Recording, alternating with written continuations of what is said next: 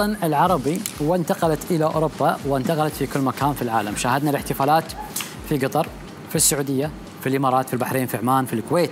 شاهدناها في مصر شاهدناها في فلسطين شاهدناها في الأردن شاهدناها في مختلف الدول العربية وغير العربية. بل أن المغاربة تصور اليوم يومهم حتى الصباح لأن هذه الفرحة.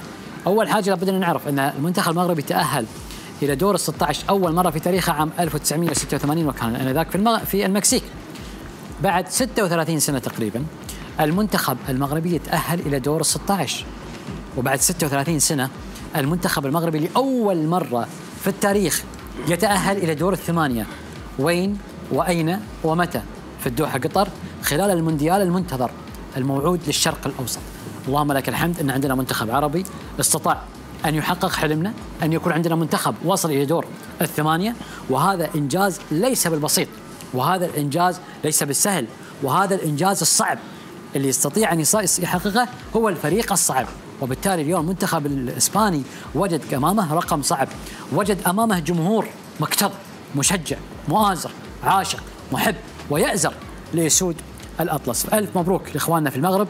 ألف مبروك للشعب المغربي ألف مبروك للقيادة من ملك وشعب صغير وكبير ألف مبروك لإخواني المحللين بدون استثناء ألف مبروك للفرحة الجنونية اللي شفناها في أشرف اليوم ألف مبروك للفرحة الجنونية الأكثر أيضا عند أسامة بن عبد الله عندكم جميعا فمبروكين يا شباب المغرب. الحمد لله. الله يرحم والديك يا أبو جاسم ليلة رائعة بكل معنى الكلمة. فرحة الجميع مبروك علينا جميعا. عشنا يوم تاريخي. صراحة لحظات كانت رائعة مع الجمهور الرائع مع اللاعبين. كنا نقول دائما إنه هذا المونديال مختلف لأن عندنا دعم الجمهور.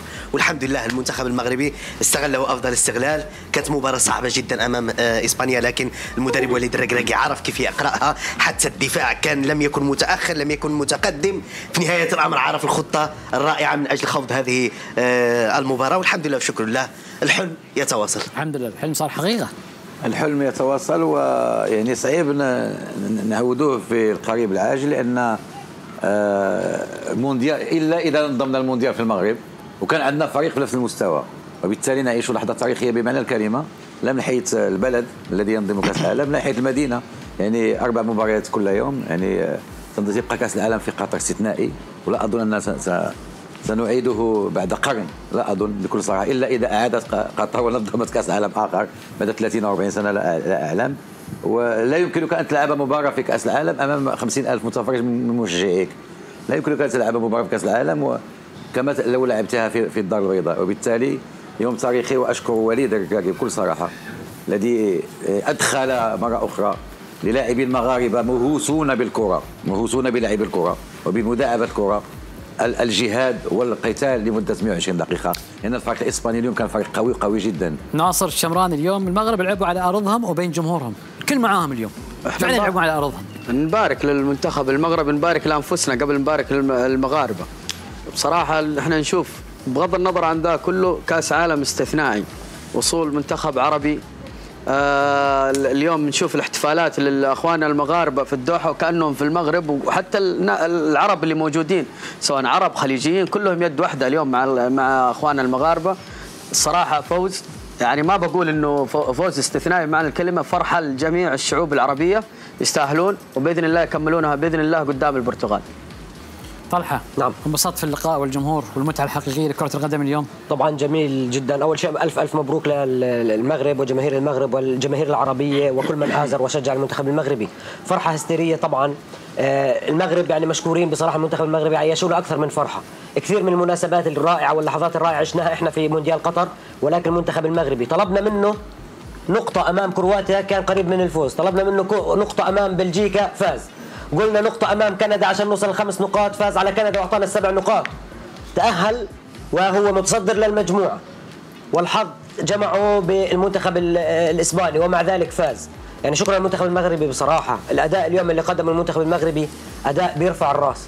أي نعم لم نسيطر على الكرة ولكن في النهاية لعبنا بالمنطق لعبنا بما تقتضيه كرة القدم. أن نقدم قدمنا. ما شاء الله كل خط تفوق على الخط اللي أمامه كل لاعب تفوق على اللاعب اللي أمامه.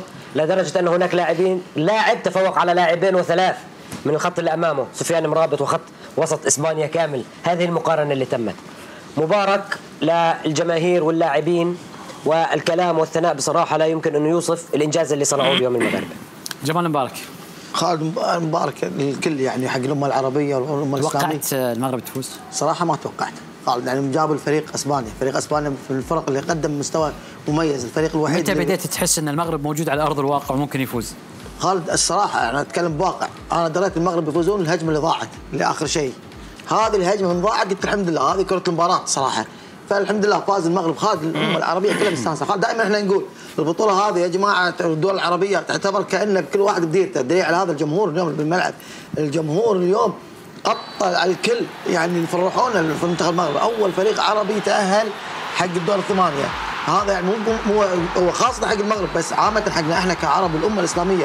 الكل مستانس الكل مرتاح إحنا أمس نقول لك اليوم اعيد لك أقول لك المغرب سعادة. صراحة يعني المجهود والروح والقتال والإصرار الموجود داخل الملعب على جميع اللاعبين والتركيز جميع اللاعبين الاحتياط كلهم داخل الملعب. حتى الجمهور خالد لآخر دقيقة لآخر دقيقة الجمهور قاعد يشجع وصارخ اللاعبين أربع لاعبين تعاونوا مع بعض والتبديل آه، مدرب غير تبديلات آه، سيطر على الملعب رد من جديد وردوا. آخر عشر دقائق الشوط الثاني لعبوا مباراة كبيرة ومباراة يعني مباراة استثنائية خالد. وهذه المباراة اللي إحنا نتمناها حق الفرق العربية ولله الحمد قدرنا نتأهل وهذه فرحتنا وفرحة العرب كلهم لله الحمد. محمد.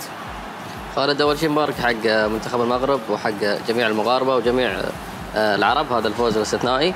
المغرب اليوم لعبت مباراة تكتيكية كبيرة. نعم ما سيطرت على الكره ولكن لعبت مباراة تكتيكية. لعب المدرب على المعطيات اللي عنده قدم مباراة دفاعية كبيرة. آه، منتخب المغرب توصل اليوم دور الثمانية بدون ولا خسارة في المونديال شيء مش بسيط شيء مش طبيعي.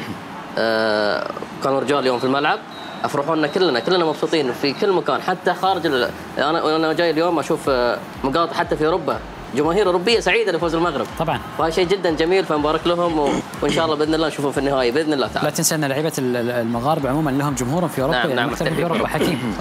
اولا نقول مبروك لأسود العرب. آه، اليوم شفنا منتخب كان حاضر ذهنيا كان صامد دفاعيا شرس مقاتل. رسم تكتيكي محكم منضبط تكتيكيا وليد الركراكي كل مرة كل مباراة إلا ويعطينا الجديد في قراءته التكتيكية في ترتيباته سواء على الناحية الدفاعية أو الهجومية. اليوم شفنا دفاع مستميت ولكن عارف المهمة اللي كان ماشي لها ما في زيادة في اللعب. اللعب السهل الممتنع الشرس القتالية الانضباط.